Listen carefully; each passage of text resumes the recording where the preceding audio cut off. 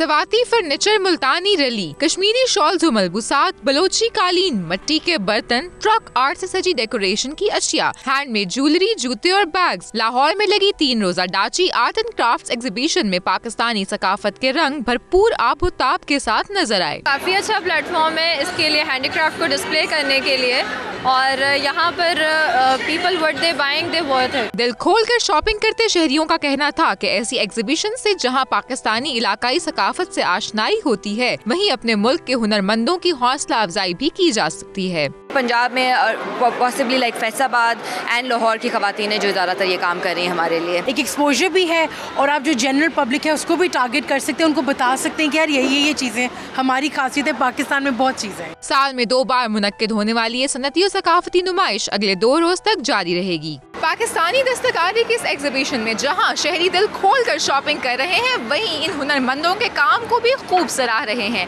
Camera مین آصف جاوید کے ساتھ Amber Qureshi, ninety two news, Lahore.